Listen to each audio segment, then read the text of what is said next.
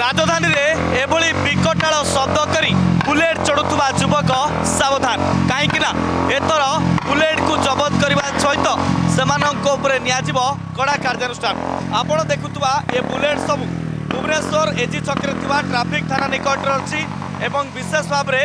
ଏ ଯୁବକମାନେ ଆପଣ ଦେଖୁଛନ୍ତି ଭିନ୍ନ ଭିନ୍ନ ପ୍ରକାରର ସାଇଲେନ୍ସର ଲଗେଇ କିଭଳି ଭାବରେ ରାଜଧାନୀର ରାଜରାସ୍ତାରେ ବିକଟାଳ ଶବ୍ଦ କରି ଲୋକଙ୍କୁ ସମସ୍ୟାରେ ପକାଇବା ସହିତ ବାଇକ୍ରେ ଷ୍ଟଣ୍ଟ ମଧ୍ୟ ଦେଖାଇଥାନ୍ତି। ବିଶେଷ ଭାବରେ ଏଇ ଯେଉଁ ବିକଟାଳ ଶବ୍ଦ ବାହାରେ ବୁଲେଟରୁ ସମସ୍ତେ ମଧ୍ୟ ଅତିଷ୍ଠ ହୋଇଥାନ୍ତି। ଏ ଘଟଣାକୁ କମିଶନରେଟ ପୋଲିସ ପକ୍ଷରୁ ଗୁରୁତର ସହକାରେ ନିଆଯାଇଛି ଏବଂ ବିଶେଷ ଭାବରେ ଆପଣ ଦେଖୁଛନ୍ତି ପାଖାପାଖି ଦଶରୁ ଅଧିକ ବୁଲେଟ ବର୍ତ୍ତମାନ ଜବତ କରାଯାଇଛି ଏବଂ ଯେଉଁ ମୋଡିଫାଏଡ୍ ସାଇଲେନ୍ସର ଲଗା ହେଉଛି ଏ ସାଇଲେନ୍ସର ହିଁ ବିକଟାଳ ଶବ୍ଦ ବାହାର କରୁଛି ସାଇଲେନ୍ସରରୁ ଯେଉଁ ଶବ୍ଦ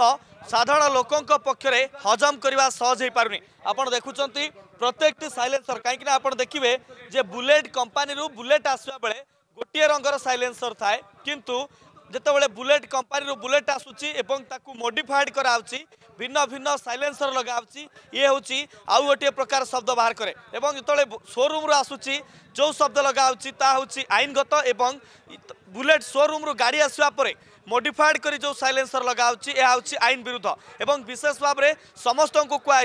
ଯଦି କିଏ ଏଥର ଏଭଳି ସାଇଲେନ୍ସର ଲଗେଇ କୌଣସି ପ୍ରକାର ଶବ୍ଦ ପ୍ରଦୂଷଣ କରିବା ପାଇଁ ଚେଷ୍ଟା କରିବ ସେମାନଙ୍କ ଉପରେ କଡ଼ା କାର୍ଯ୍ୟାନୁଷ୍ଠାନ ନିଆଯିବା ସହିତ ସେମାନଙ୍କର ବୁଲେଟ୍ ମଧ୍ୟ ଜବତ ହେବ। କେବଳ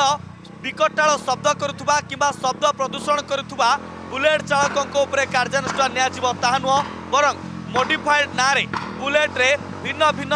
ସାଇଲେନ୍ସର ଲଗାଇ ଯେଉଁମାନେ ଶବ୍ଦ ପ୍ରଦୂଷଣ କରିବା ପାଇଁ